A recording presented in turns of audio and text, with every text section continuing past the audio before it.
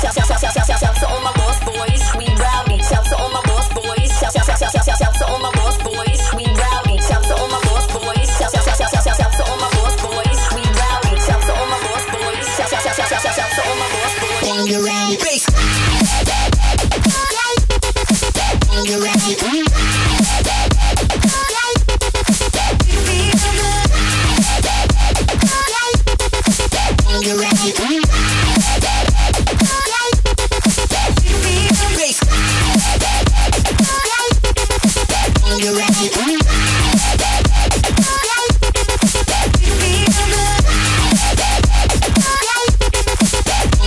Ooh.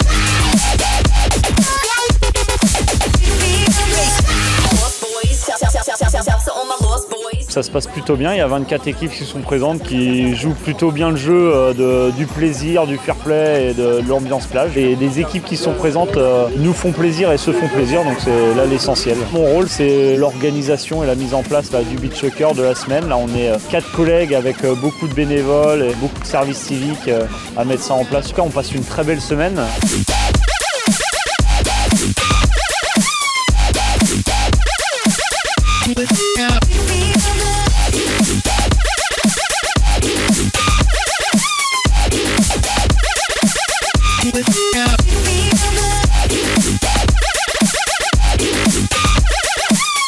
La manifestation Beach Soccer euh, donc s'inscrit en fait dans le mois du sable de la ville de Rennes et du Cercle Colbert, qui est mené par les salariés du Cercle Colbert et les bénévoles. Donc c'est l'ensemble des groupes foot du Cercle Colbert qui se répartissent en fait euh, bah, le travail sur les différentes soirées, les différents après-midi. Il y a vraiment l'ensemble des footballs qui se pratiquent, euh, qui est représenté pendant le mois du beach.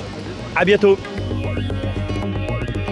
Football à effectif réduit puisqu'on joue à 5 au beach soccer euh, avec des règles spécifiques. Les pratiquants se rendent compte qu'ils ne peuvent pas conduire le ballon comme sur de l'herbe ou, des terrains synthétiques.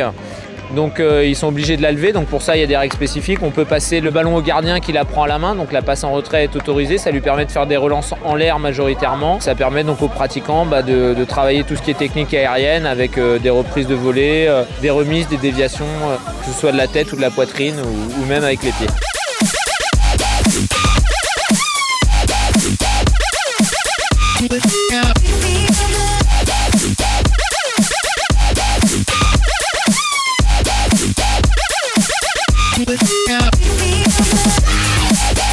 Le but du jeu, c'est de vivre euh, le football autrement. Le beach soccer, c'est euh, une pratique fun et spectaculaire qui euh, permet de vivre la convivialité. Ce tournoi ce soir, c'est s'amuser, faire des gestes spectaculaires, faire des connaissances et vivre un bon moment tout simplement de convivialité simple.